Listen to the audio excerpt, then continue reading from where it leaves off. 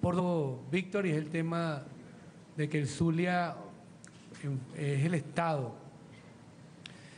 Que mayor demanda sobre el sistema eléctrico nacional, con una demanda que, ha rozado los 3.000 megavatios en algunas ocasiones, pero también por ser el Zulia y sobre todo la región de Occidente, la región con más problemas de, en el sistema eléctrico nacional, por ser un sistema que depende mucho de nuestra producción en Guri, que representa más o menos el 60, 64% de la producción o de lo que consumimos a nivel nacional o lo que generamos. Y bueno, por estar Occidente al final de todo este sistema de, de esa producción de Guri, únicamente llega a esta región 2.500 megavatios, lo cual significa que este eje, que no solamente lo compone el Zulia, sino está Zulia, Lara, Yaracuy, Falcón y los estados andinos, Mérida, Táchira y Trujillo, bueno, se alimentan de, de Guri únicamente con 2.500 megavatios, lo demás lo tienen que autogenerar. ¿no?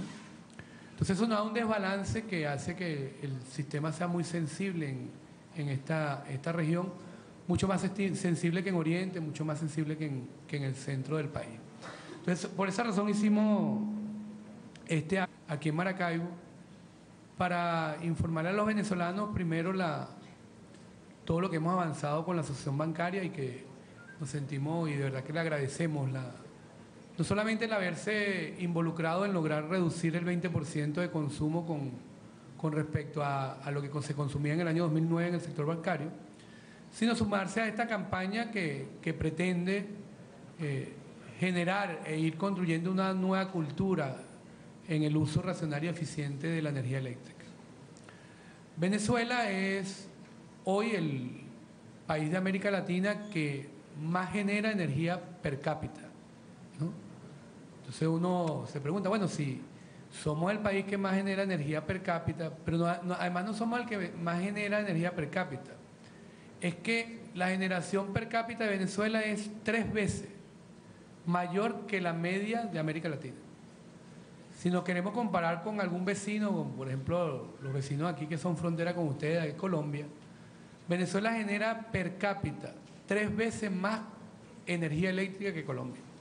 Sin embargo, le compramos a Colombia energía para poder compensar la demanda de, del Zulia, por ejemplo. ¿no?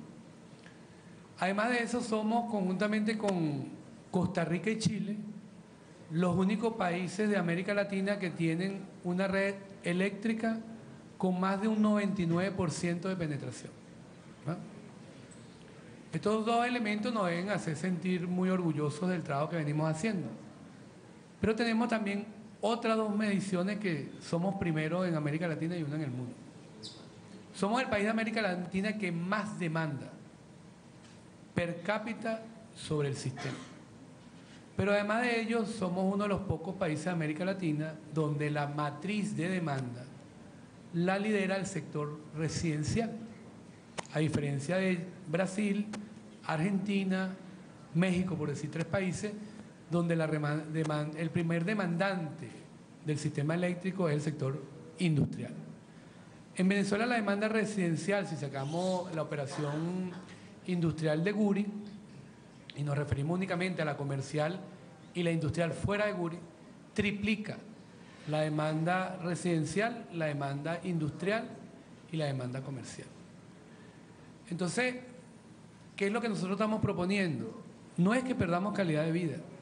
Se puede mantener la calidad de vida haciendo un uso racional y eficiente de la energía eléctrica. Pero además de eso, si hacemos ese uso racional y eficiente, vamos a disponer de energía